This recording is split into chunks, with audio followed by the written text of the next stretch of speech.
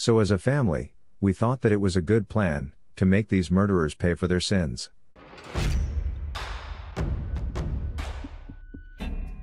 If you like true revenge stories, you found the best place for your vengeful needs. In this episode, we start off with a short story about a girl that gets abused by her boyfriend, but he doesn't know her brother has close ties to the mob. Followed by a family tragedy, drunk soldiers attacking a family in their home with horrible consequences. But the family decides to take revenge so far, that it blushes the cheeks of all nuclear revenge stories. Lastly, a neighborhood creeper likes to rip off bikinis from underwater, but endures the claws of revenge. Be sure to invite the like button to a family dinner, but force it to pay for the ordered pizza. Let's dive in.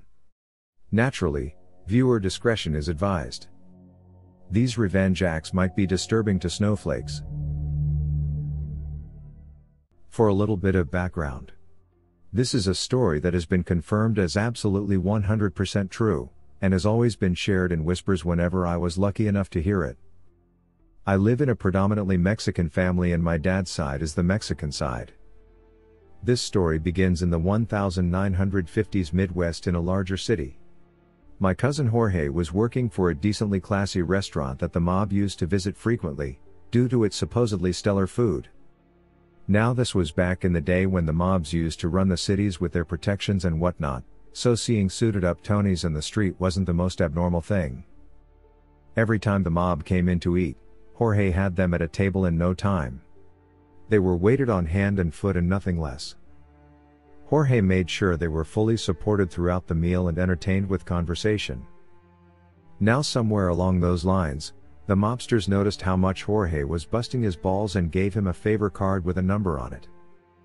They said if anything goes down and he needs help, he is to call the number on the card and tell them what's going on, and that the situation will get taken care of. Enter Arabella, Jorge's sister. Arabella had started dating a guy named Jack, and everything was lovey-dovey at first.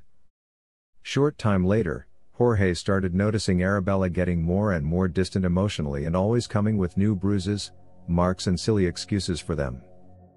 Jorge then starts questioning Arabella about what the situation is and eventually Arabella breaks down and reveals Jack is the one laying his hands on her so much.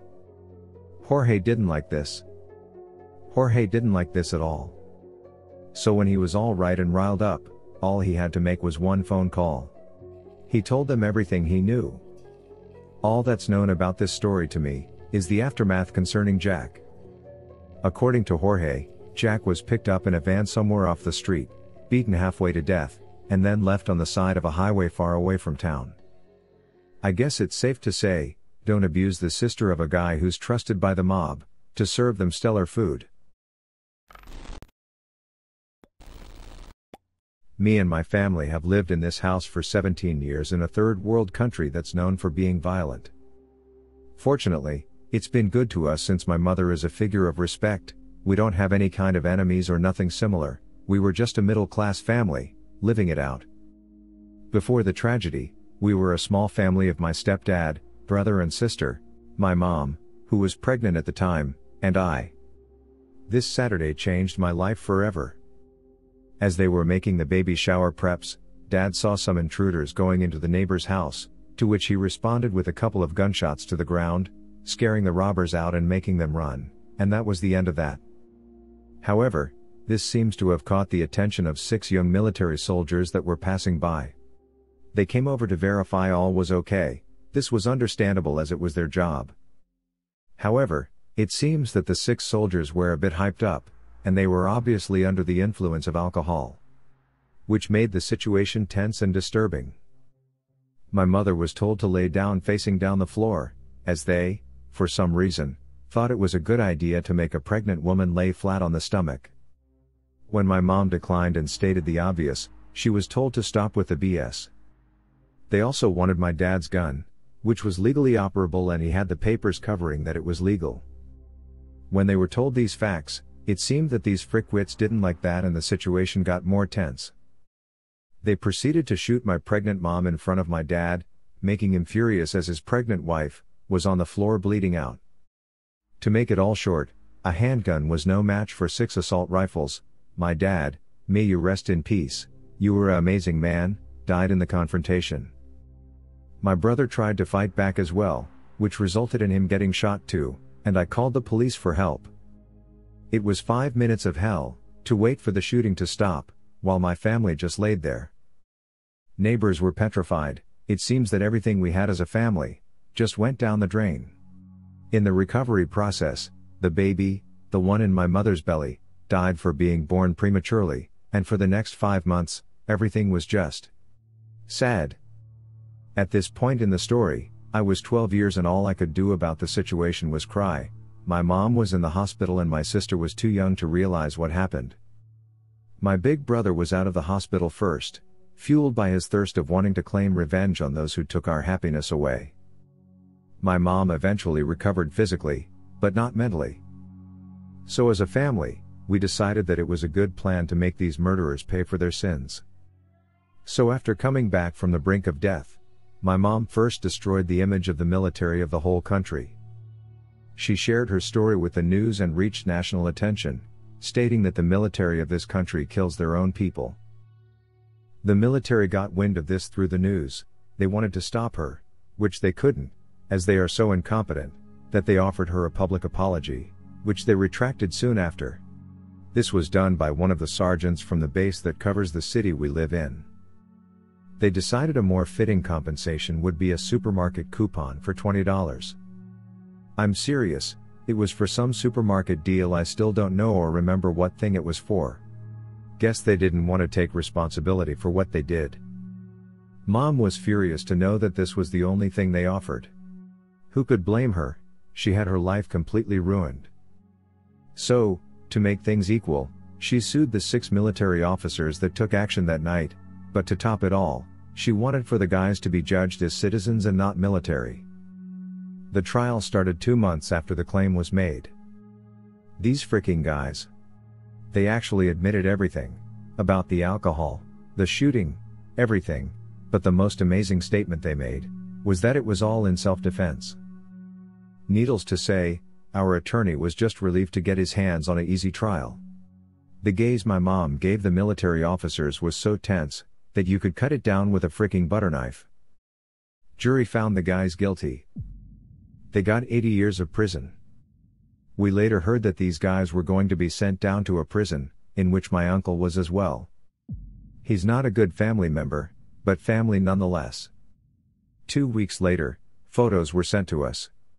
They showed the military officers, beaten senseless. Needless to say, Uncle stated that these guys will be experiencing hell until he is out of there. So that is that. However, Mom was not happy, she wanted more, she wanted to take the military out of the city, wipe them of the face of the earth.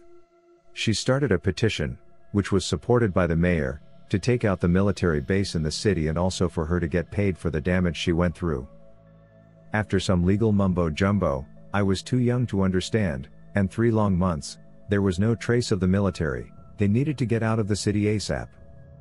The media played a big role in this, as they put a lot of pressure on them.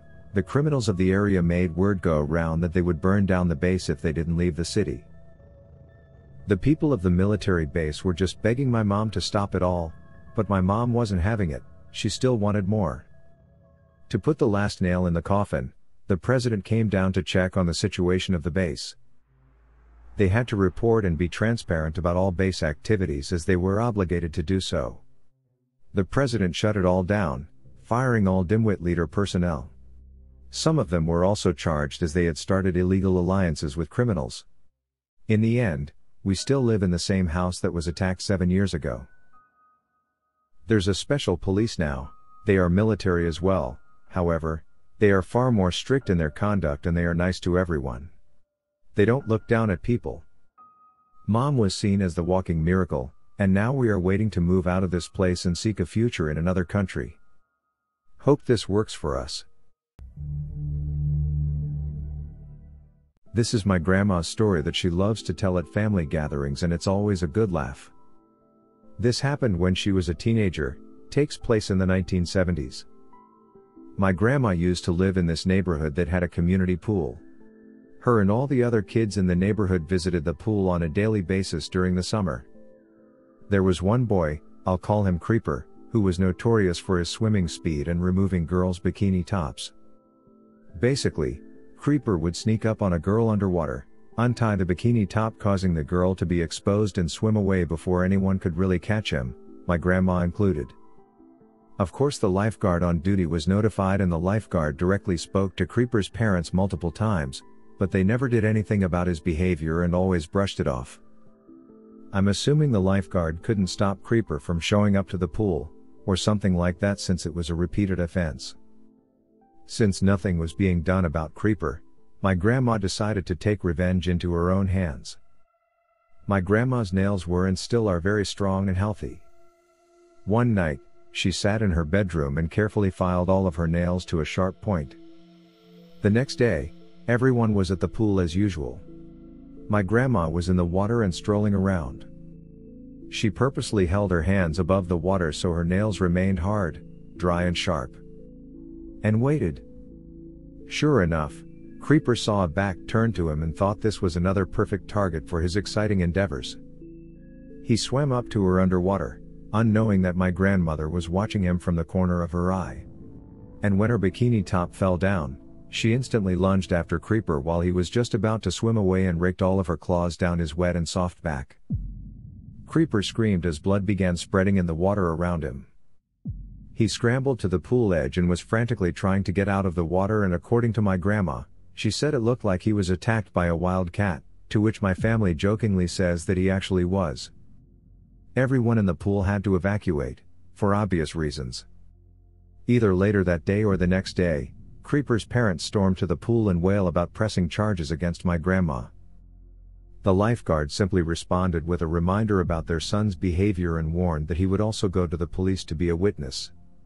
My great grandmother was also there and threatened with a lawsuit of sexual harassment against Creeper's parents. Needless to say, Creeper never returned to the pool after that. My grandma says she feels bad about probably permanently scarring Creeper, but that's about it. Thank you for enjoying this episode, which was made with artificial love. Subscribe or give Royal AI some sugar by avenging the like button. Could you imagine doing one of these acts yourself? Share your experience below. I'll join the conversation.